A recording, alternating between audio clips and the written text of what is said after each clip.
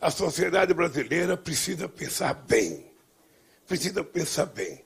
É a primeira vez na nossa história, nem no regime militar, durante 23 anos que o militar governava esse país, não teve um general que fizesse um discurso dizendo que o povo precisa estar armado.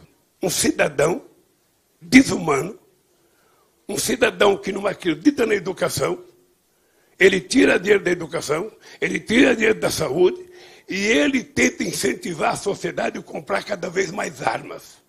Armas não educam, armas matam. E matam crianças, e a gente vê todo dia.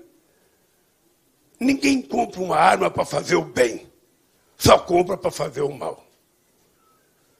Se ao invés de incentivar a arma, a gente tivesse um presidente que incentivasse a educação, que incentivasse a cultura, que incentivasse efetivamente, sabe, o investimento na saúde, do, do, do, do, ensino fundamental à universidade, da creche à universidade, a gente teria outro país. E vocês se lembram que esse país já foi mais feliz. Vocês se lembram que nesse país as pessoas comiam melhor. Vocês se lembram que as pessoas viajavam. Se lembram que as pessoas compravam carro. Vocês se lembram que as pessoas trocavam de televisão. Vocês se lembram que as pessoas podiam comprar computador e celular que quisessem comprar. Hoje, nós temos 80% da sociedade endividada. E não é dívida simples, não.